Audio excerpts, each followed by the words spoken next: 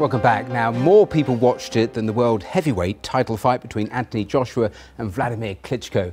More people watched it than Wimbledon or the FA Cup final. I'm talking about that boxing showdown seen by around 25 million people so far. We're going to talk to one of them, KSI, one of the biggest YouTubers on this planet. He has 17 million subscribers.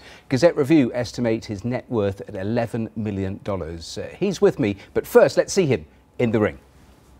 Joe looks like a And bull Joe ready to go is in. walking straight ahead. Both these guys looking for a big punches early on. KSI just JJ not, landing. landing the jab early. JJ landing the jab early. Right hook by JJ. Another jab by JJ. Joe not answering. Joe- Joe, hasn't thrown a punch yet. Joe needs to start throwing. Joe needs to throw. Joe needs to throw a punch. And he does. And he does throw. And he lands. This is Joe sitting. Well, there he goes from the ring to here. Welcome here to the programme. I mean, 25 million, that is insane. Did you know it was going to get that big? No, not at all. I thought uh, I thought like a couple of million people would see it, but not not 25 million. No.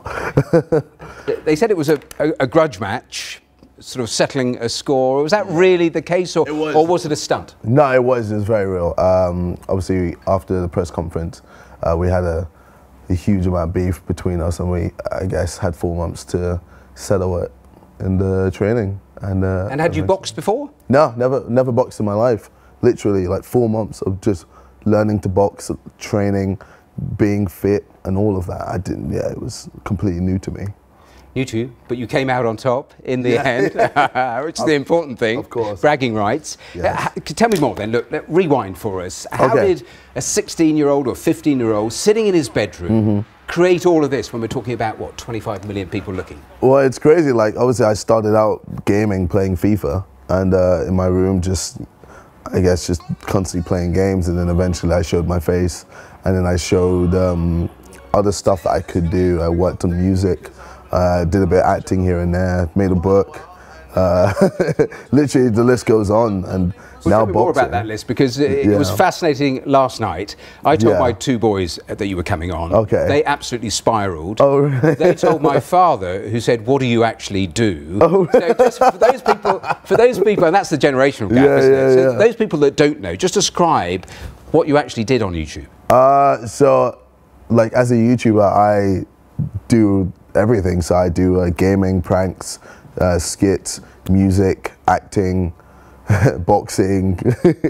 Literally, you name it, I probably do it or I've done it. and you, you put those videos up, uh, and that's the music that you've gone on to do uh, in land. You've been talking about films as well, but you Yeah. also mentioned pranks, and I'm going to put up on the screen uh, just one of the pranks for our viewers to see because uh, that's how you really made your name, and that's how your subscribers just ratcheted up. Let me just put uh, one of them up on the screen for the viewers.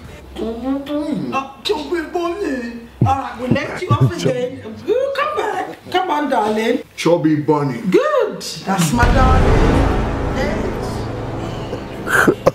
So you're laughing even. Yeah, I mean, you got the rest of the family. Yeah, Oh, That yeah. was just stuffing marshmallows in your face. Yeah, yeah, Chubby Bunny challenge, Trying to speak. Uh, you must have great fun. Are your brother involved? Your Yeah, yeah. Involved. Does your mother tell you off for, for swearing so much? on those videos? She does actually. She hates it. So whenever I'm like with her, I never swear, but uh, I try to I try to calm it down. I was watching one of those videos last night, Mm. and in it, you were saying how grateful you are for your 50 subscribers. I'll repeat that. Oh, 50 oh, yeah, In yeah, that yeah. video, you now have 17 million. I mean, how did it grow so quickly? Um, I think word of mouth helped a lot. Um, I I know a lot of people, especially in schools, used to like love my videos and they would share around a lot.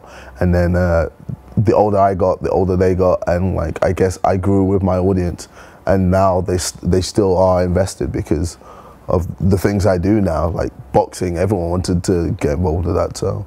And of course, you're incredibly wealthy. I, I mentioned figures in, in the introduction. You can laugh. um, did you have to uh, think about how you monetize it, or, or did it just fall in your lap? Uh, I didn't think about money at all. Like when I started, I just I thought it was the most fun I've ever had in my life, just playing games and But the money's incredible, isn't it? I was reading that it it's roughly works out two thousand dollars per million hits, and then I mean some of the videos that you have, I mean Yeah. they're getting multi-million hits. You can you can do the maths really quickly and, and work out why it is so profitable. Yeah. But how open are you about things like sponsorship that comes with it, brands that come with it, that sort of transparency. So I was um, at the beginning. I was uh, I was just like, oh, I just pick anything. Whereas nowadays, I'm a lot more um, selective with what I do. So I don't just select anything. I have to pick something that works with me or for me. So.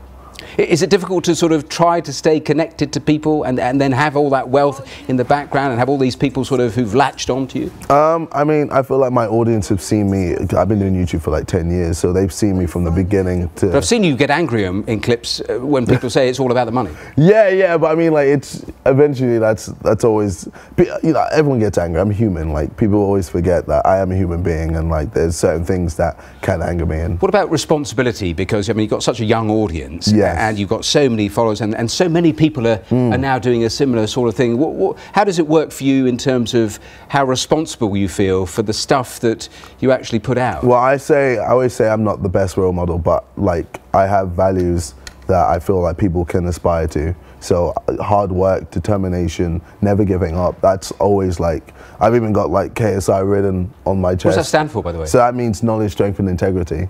So I like those are things that I aspire to, and obviously, like as a human being, I'm going to make mistakes, and you know, like I just learn to correct them and then move on from that. It's interesting you talk about mistakes because we were on the programme only a few weeks ago. We're looking at uh, Logan Paul that made headlines around the world when he was taken off uh, YouTube because of uh, you know that stuff that he posted uh, around suicides that got uh, so much. Uh, there was so much controversy that surrounded it. I mean, i- didn't that sort of underline? And you must have this as well. Yeah. There's no one really overseeing what you do, is there? There's no one checking it.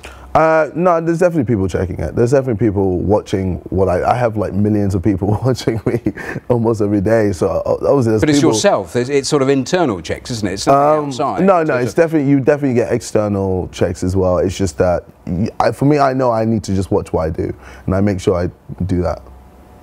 Have you got into pickles in the past and difficulties and had to delete stuff? Of course, of course, I've had um, controversy as well, and I've been, you know, done a few things here and there. But it's like where you, how you learn from that, how you get up from uh, failure and or just messing up. So I mentioned Logan Paul in, you know, relation to uh, all those uh, negative headlines. At the end of your boxing match, yes, you challenged him to a boxing Yes, match. yeah, I, I mean, uh, what is that? What's going on there? Is that your brain thinking of the next business opportunity? Has he responded? I feel like it's I'm kind of just doing the world a favor and wanting to punch him in the face. yeah. and has he responded? Is he taken up? Uh, so I, I, I don't know. It's still like here and there, but uh, I'm still waiting for a proper proper reply.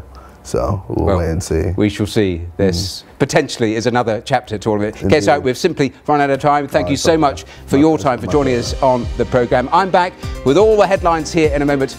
Don't go away.